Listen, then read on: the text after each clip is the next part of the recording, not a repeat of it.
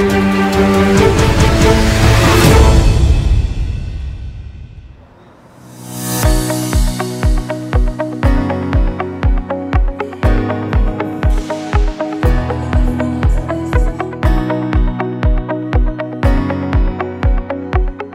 name is Gabriele Rossi. I'm the Chief Sales Officer for the Asia Pacific region for Prima Power. Prima Power is a worldwide uh, leader in sheet metal machinery and application and uh, we have our own branch in Korea so today we are here to, to bring our solution to the Korea market.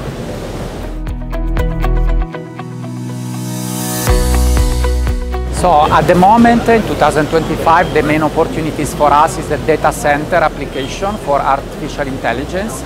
So our fully integrated line and system is the perfect solution for this market, data center for AI. Last year Prima Power purchased, acquired a very important company for uh, robot integration with the press brake, it's called Sistec. So this year uh, we bring this solution to the market it's a very important uh, company that help us to, to give to the market this application. So press brake plus robot application. Uh, Industry 4.0 and smart application are at the core of our development.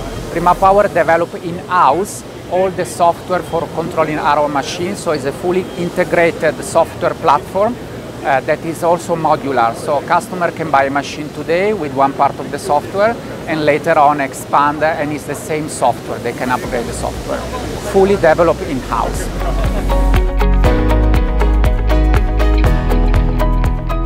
So Woojin Plaimm is a worldwide leader for injection molding machinery and we have the chance to cooperate with them uh, with a fully integrated system uh, with the automatic warehouse, press brake, uh, robots, laser 2D uh, panel benders, punching system. Uh, the request was to have uh, a fully automated system integrated with their ERP and MES with full data tracking of the quality. So, and Prima Power was able to deliver, let's say, for this very huge system.